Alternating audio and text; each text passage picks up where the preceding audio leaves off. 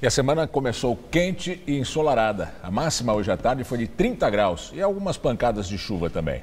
Vamos ver com Mariana Armentano como fica a previsão do tempo para os próximos dias, já que temos feriado à vista.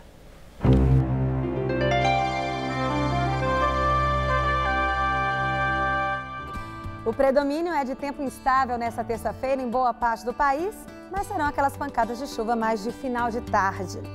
Como a gente vê no mapa, áreas de instabilidade vão provocar chuvas de sul a norte, passando inclusive aqui pelo estado de São Paulo.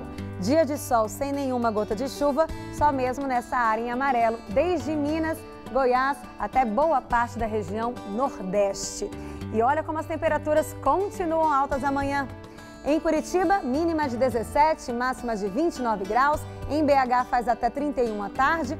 Em Manaus, termômetros entre 23 e 33 graus. E em Cuiabá, nem as pancadas de chuva vão aliviar o calorão na casa dos 39 graus.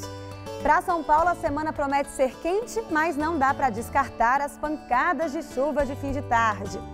O sol predomina desde cedo em todo o estado e algumas nuvens de chuva vão se formando a partir da tarde entre o oeste, centro-sul e leste do estado. Nas outras áreas, não chove. A máxima ultrapassa os 30 graus em todas as cidades paulistas.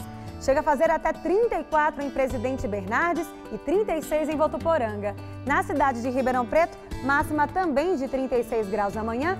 E no litoral pode fazer até 32 graus em Santos e 33 em Caraguatatuba. Na capital, mínima de 19 e máxima de 32 graus. Adiantando um pouquinho, vamos ver como fica o tempo por aqui até o feriado? Todos os dias prometem sol com chuvas entre a tarde e a noite. Então, na quarta-feira, teremos mínima de 19 e máxima de 34 graus. Na quinta, feriado, quase nada muda, máxima de 33. E na sexta, os termômetros ficam entre 17 e 31 graus por aqui.